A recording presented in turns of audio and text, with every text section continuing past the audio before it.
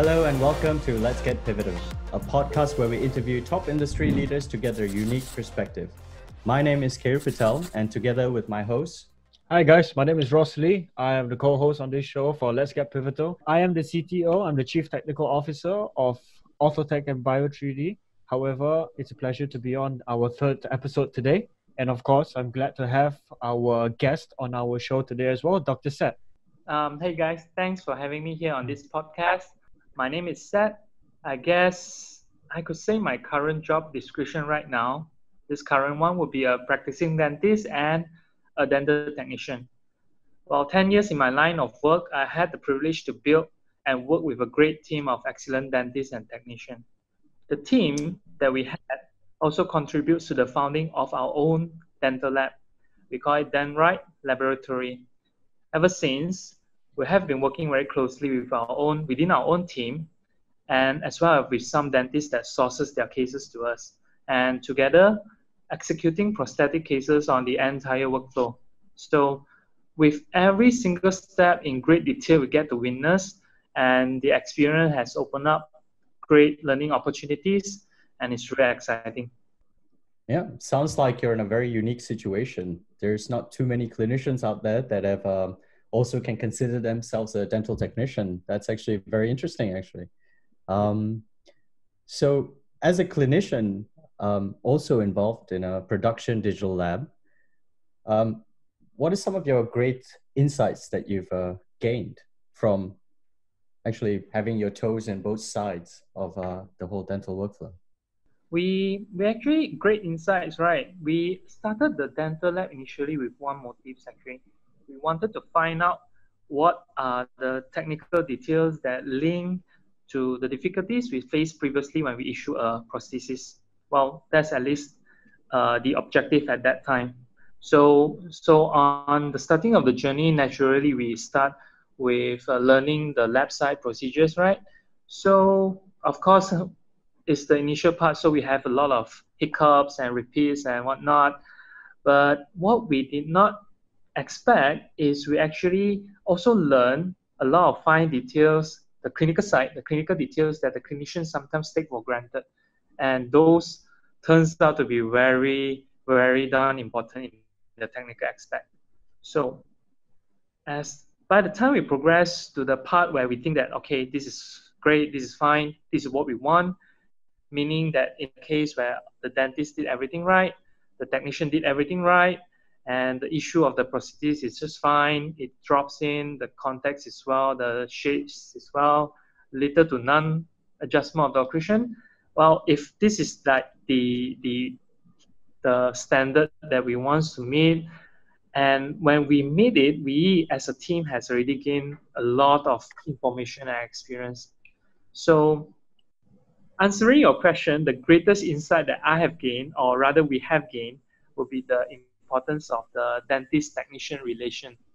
It's like a relationship kind So it, it is not a popular subject of discussion, but we, when we take a closer look at how dentist and technician work together, it's so separated. It's like it's almost like a dentist prescribing a drug. Yeah. You know, the technician receives the instruction and under any circumstances has to deliver a product. And by hook or by crook, they'll try to fit in you know that's it's not something that we really like it's not the ideal situation i would say right? Yeah. And yeah definitely not yeah. Yeah but of course i'm not saying that this applies to every case but uh, trust me when and as a dentist i have this i have my friends my colleagues and we talk about these issues. And also as a dental technician my mentor my fellow technicians and we talk about this issue as well. And trust me from both sides it's not uncommon is very, very common. So it is a problem, but nobody is thinking of issuing that address. I mean, uh, address that issue. Sorry. Mm-hmm. Yeah. So in terms of that, like because you were able to jump into to go, I mean, from clinician, you were able to go into a dental lab as well. You actually picked up those uh, those never seen before ideas as well. Like for example, working with labs, the communications with labs. Um, I think, and also that when you are able to sit on both sides of the boats, I think it also helps you understanding how to also create that better communication back and forth with uh, both sides of the the boat. If you know every single step that you know, you actually understand the the pro. I mean the difficulties. Yeah, it's it's definitely something that doesn't really get spoken about too much. Um, the the the dental uh, well the, the clinician and the technician relationship. And in like so from what i've read in some of the european markets um, the clinician has a preference for the technician that they will work with for example. And this is primarily because they've worked together over an extended period of time and they've sort of you know communicated and and been honest with each other. You know like i need um, i need you to do this this and this and you know it goes both ways. And so once this actually develops i think um, sort of everybody uh, benefits i think in the workflow. Yeah. So dr Sett, uh, in regards to you know earlier just to talk about a little bit more of your question the answer that you gave earlier uh, you did say that you had certain hiccups um, going through this process. Do you think you can let me know a little bit more on well let us know or the listeners know what what are these hiccups that you know that you came across. Yeah. Well what i meant about hiccups in my previous um, answers is like the hiccups that i faced in the lab side because um, we are not familiar with the lab side procedures to start off with. So i have to go through uh, tries out. Just so hiccups it's just like um, the process from when we receive the impression and we pour out models, every single step is very important. We pour out models, make sure there's no bubble, we section the models, we scan it, we have to trim the borders out, make the margin obvious. You didn't do it well, it will reflect in your final prosthesis. And when we issue the prosthesis, be it a crown or bridge, anything, you will find trouble with it. So our, I, we find out that if you did every single step properly. And of course, the clinical side, I mean, the impression must be well, must be good, the prep must be good. And if you do everything right, actually it's possible to get a prosthesis that fit just with every single details perfect. I mean, a perfect fit. It's possible. It's, it's not like what we assumed last time. It, eh, mm-hmm. Yeah, definitely to get it in. No, it's actually possible, especially now we have this digital workflow. Describing uh, the plug and play essentially. If everything is done properly and everybody understands what's going on, including the technician as well as the clinician, you can get plug and play crowns. You can get plug and play bridges. You can get plug and play dentures, even for that matter. Yeah. yeah. But you just have to work out the uh, potential problems or the fine details. We have to work it out, iron. And we get to that place, we will have what you say, like you say, like a plug and play thing, you know, and that will be very satisfying. Yeah, definitely. So, so, so I guess, I guess it's uh, it's good to say that. Uh, do, do you feel that this has made you a better clinician now that, for example, you not only know the clinical side, but you also know the laboratory side as well? Uh, if so, and and which way, you know? Well, to has it made me a better clinician? Yes, I would say that, uh, it's a definite yes.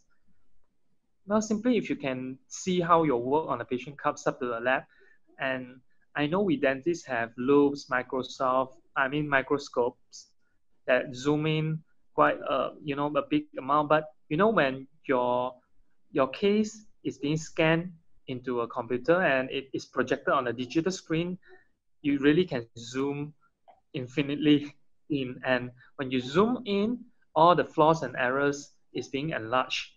So when it's enlarged, you can actually really see what you have done wrong. sometimes it can be really embarrassing. So, yeah. But that's for the case for silicone, right? So um, for dentists that has intraoral scanner, they would have seen it on their own screens, mm-hmm. right? So yeah. if you get you understand what goes on in the lab to fabricate that crown, you have the ability to backtrack and pinpoint whatever errors that cause the problem. So of course, with all this information, you will get to improve on each process and with each improvement you will get better as a clinician so yeah definitely yes yeah it's it's it's, it's quite humbling i would imagine for um, everybody to really take a proper look at their work because you know, it's it's admitting to yourself maybe I need to improve um, this process. I need to improve the way I'm doing maybe this prep. I need to improve something along the workflow. But I feel like um, you know, being in this uh, market for a while now, that clear communications and yeah. everybody being on the same page really, really does help the workflow. And then, of course, ultimately, the whole concept is that we're in this for the patient.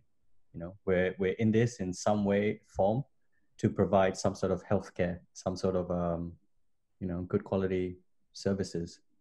So yeah, it's it's uh it's it's it's quite I, I would say it's quite gutsy of you to come out and uh, say such things, Dr. Sett, for sure.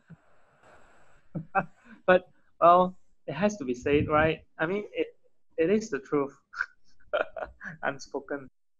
So, do you have some thoughts that you would like to share with uh, maybe technicians from a from a you know from a clinical perspective?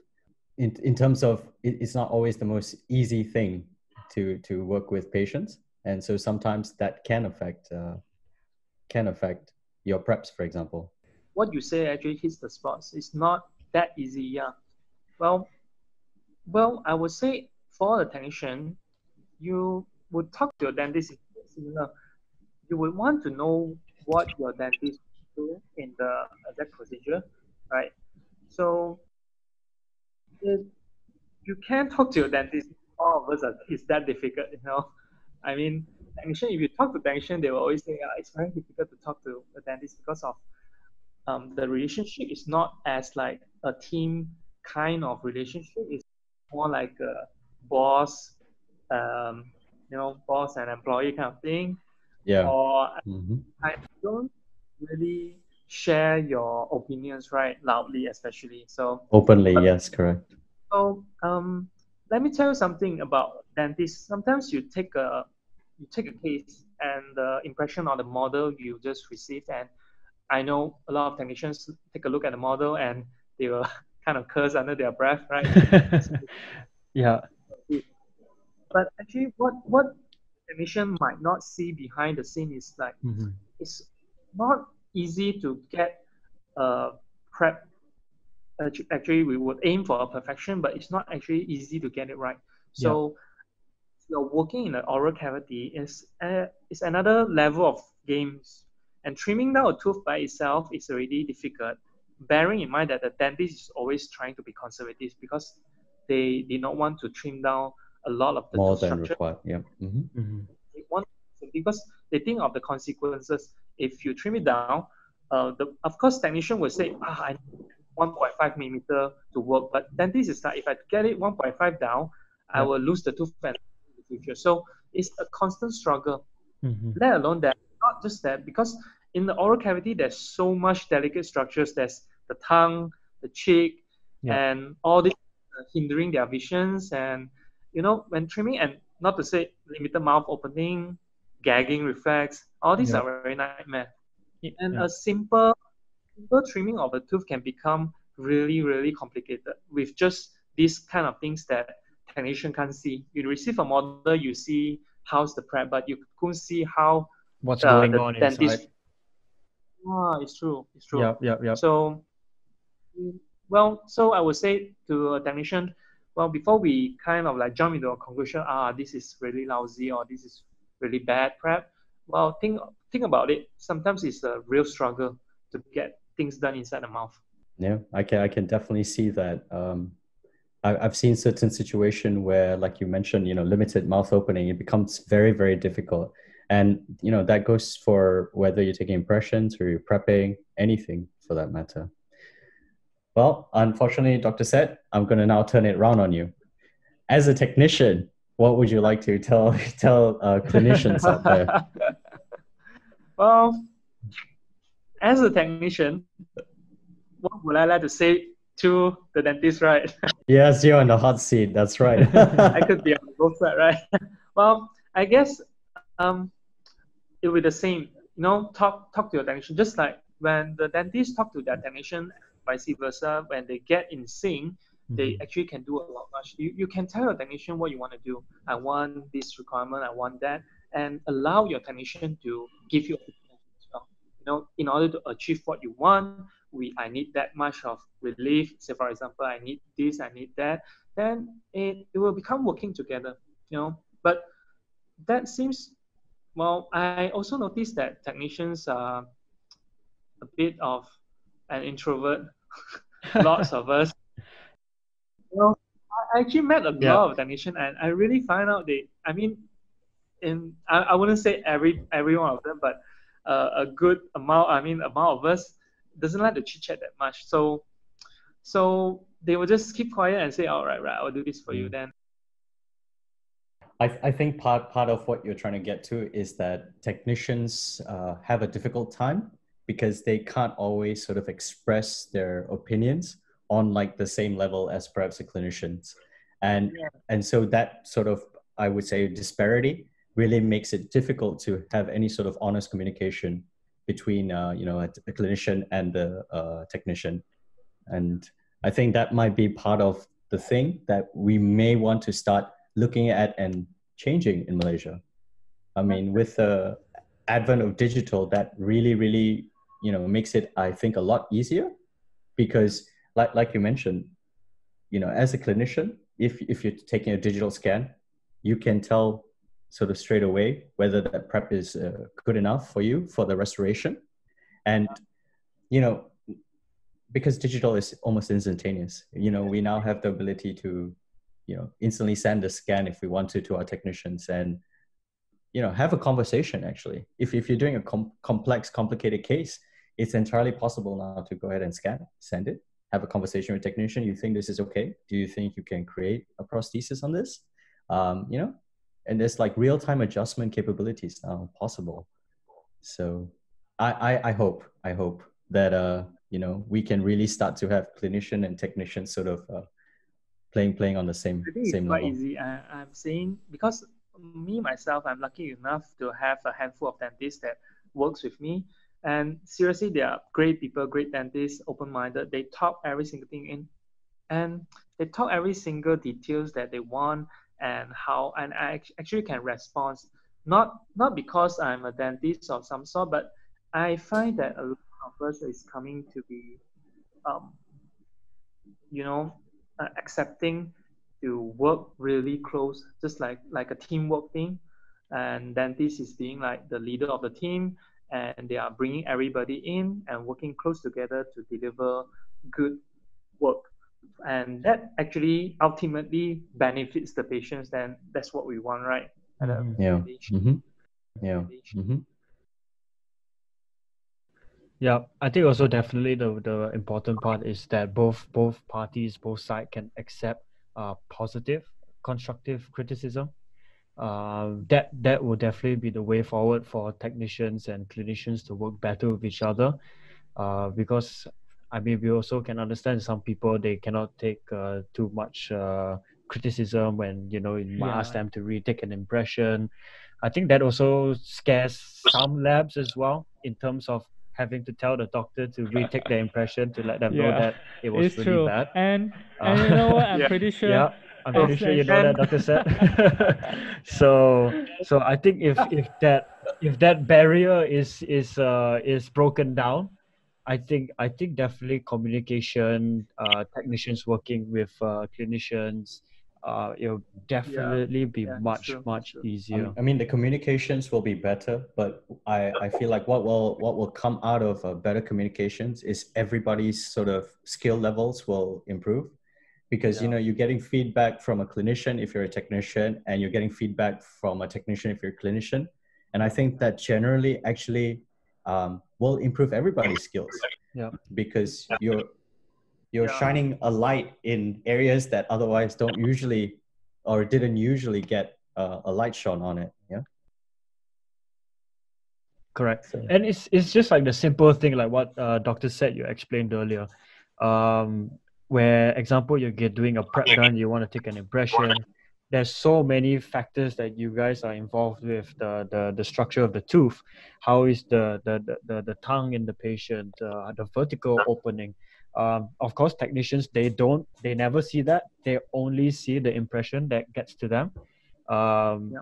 but uh, I guess hopefully, you know, technicians they listen to this and with what you have to say, they get to understand a little bit more. Sometimes why it's a bit challenging uh, to get that nice uh, margins or perfect preps. Um, so at least at least we all know that you know it's not just a simple, straightforward yeah. cut. That's it it. involves so much more. Yeah. And as we struggle in the clinics. And I, I think now with the, the times that we're facing, the challenges ahead, I think it's more important than ever to actually keep all lines of communications open.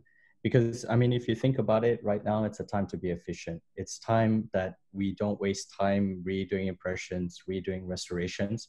So, if, if the communication is good, I think overall everybody benefits, you know, in, yeah. in, at least from a business standpoint as well. And then potentially ultimately the patient at the end as well, where they're not having to perhaps um, redo restorations, um, you know, things of that nature. So, Dr. Sett, um, yeah. So being being involved, uh, well, being being uh, owner of a clinic and being involved in your own dental laboratory as well now. Um, how how are you feeling? Because you know, as I mentioned, it's challenging times right now. It's uh, it's pedal to the metal almost, you could say.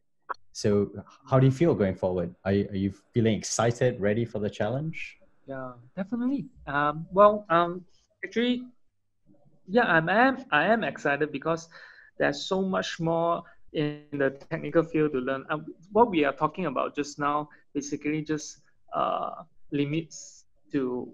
I I think we are still talking about like crowns, bridge, um, yeah, the simple stuff standard, really. Yeah, the simple stuff standard, really. Uh, mm. Not to say simple, but you know the standard yeah. stuff, but standard stuff, but stuff, but but you know there's like this whole there's so much more to learn. So I I yeah. am I'm still very excited. Uh, it's, it's been a while. I started our lab, but I'm still very excited because there's so much more things to learn. And each step, when you learn something, and when the digital part comes in and help you, makes it so much more easier.